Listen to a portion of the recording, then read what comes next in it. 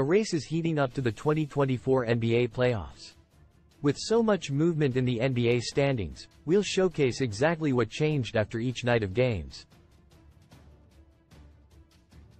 Additionally, we'll look at what the playoff bracket would look like if the season ended today.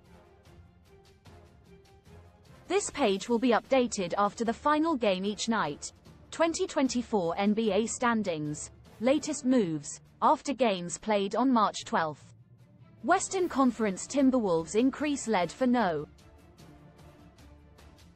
3 with win versus Clippers Eastern Conference Pacers move past Sixers for final automatic playoff berth with win versus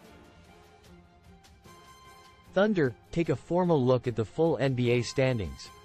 2024 NBA playoffs bracket if the regular season ended after games played on March 12.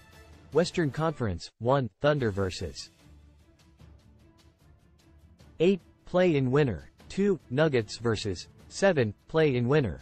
3. Timberwolves vs. 6. Suns. 4. Clippers vs. 5. Pelicans Eastern Conference. 1. Celtics vs. 8. Play-in winner. 2. Bucks vs.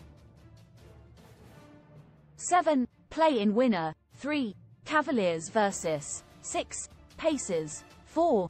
Knicks vs. 5.